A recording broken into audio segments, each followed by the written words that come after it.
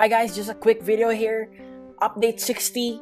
I'm so excited. Did you notice the gems? That is a new currency in the game, right? So the question is how to get gems, okay?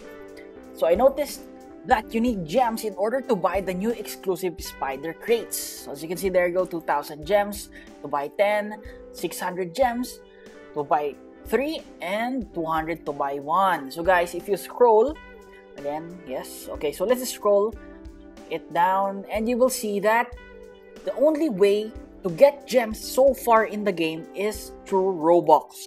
Again, I'm gonna repeat it. The only way to get gems is through Robux, but guys, don't worry. Don't be mad because the update just came out, right? Also, the developer posted this one.